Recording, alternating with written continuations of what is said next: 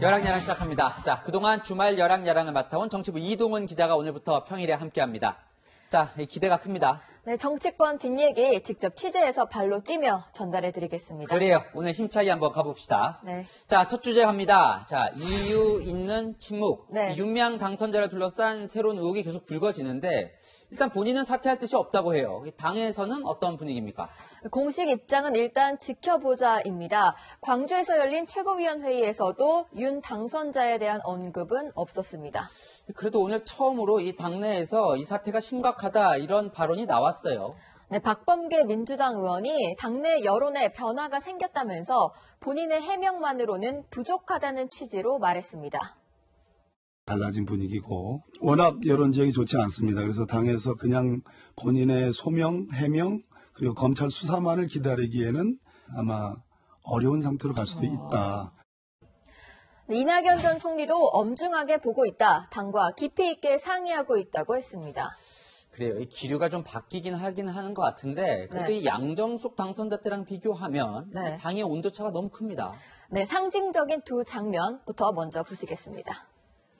당무의 중대한 방해 등에 해당한다고 판단해서 제명 결정을 내린 바 있습니다. 기부금 논란으로 지난 30년간 역사와 정의를 바로 세우기 위해 헌신해온 정의경 연대의 활동이 부정되어서는 안 됩니다.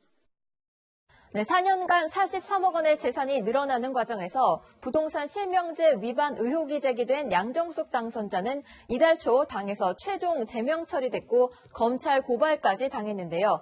윤미향 당선자 의혹이 불거졌을 때는 당 지도부가 나서서 저렇게 엄호했습니다. 양 당선자는 시민당을 상대로 제명 무효 소송을 내면서 나홀로 싸움을 시작했습니다. 음, 글쎄요. 이거 왜 이렇게 다른 겁니까? 이 윤미향 당선자 의혹에 신중한 무슨 뭐 특별한 이유가 있을까요? 네, 30년간 위안부 할머니 피해자 활동 지원 활동을 해온 윤 당선자의 이력이 역사 왜곡에 단호히 대응한다는 문재인 정부의 가치와 맞닿아 있기 때문인 것으로 보입니다. 윤 당선자 의혹이 정의연 활동 과정에서 벌어진 일이다 보니 자칫 정의연을 부정하는 모양새로 비춰질까봐 조심스러운 게 아니냐 이런 해석을 해볼 수 있습니다. 야, 그래도 이 그전에는 보호 일색이다가 이 안성 쉼터 의혹이 나온 이후에 기류가 좀 바뀌는 것 같아요. 네, 아무래도 쉼터 매입 과정 의혹이 영향을 줬다고 볼 수밖에 없습니다. 위안부 쉼터를 펜션처럼 사용했다는 의혹에다가 쉼터 관리인이 윤 당선자의 아버지였다는 사실까지 드러났는데요. 제가 직접 취재해 보니까 민주당의 한 초선 당 선자가 이렇게 말했습니다. 쉼터 의혹이 나오기 전까지만 해도 윤 당선자를 감싸줘야 한다고 생각했는데 이제는 힘들 것 같다고 말했습니다.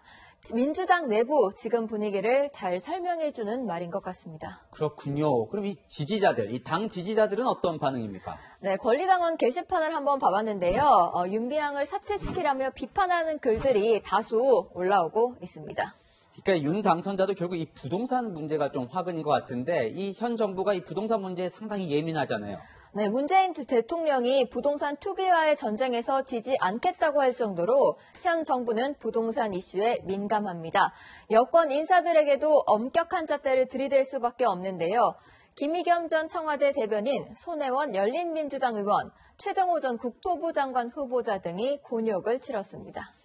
네, 윤 당선자가 기자회견 한번 열지 않고 이 일부 언론을 통해 일방적인 해명만 하는 게이 소모적인 의혹을 키우는 게 아닌가 싶기도 합니다. 지금까지 열한야랑이었습니다.